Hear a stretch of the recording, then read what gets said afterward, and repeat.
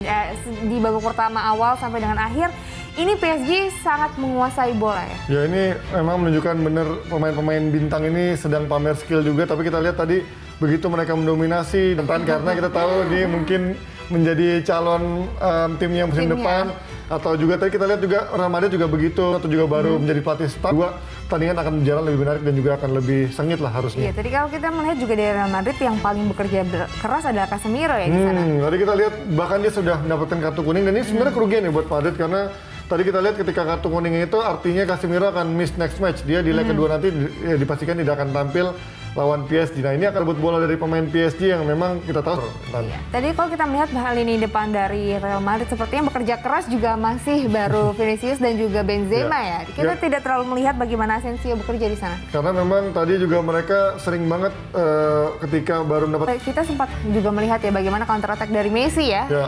Juga sempat disambut oleh Mbappe, namun sayang sekali Mbappe seperti ingin meng- mengoper kepada Messi Ya tadi. inilah yang membuat Mbappe juga mungkin agak sedikit mengerem ya walaupun Iya.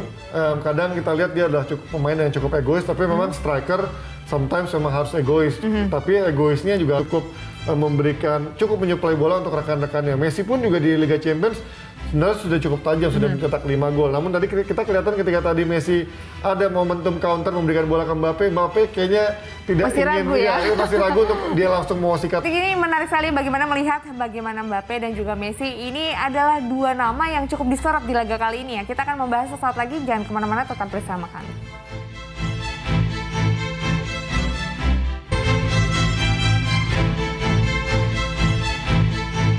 Ya, Champions kembali lagi di laga antara Paris Saint-Germain menghadapi Real Madrid. Tadi kita sama-sama saksikan babak pertama masih 0-0 Mas Panji.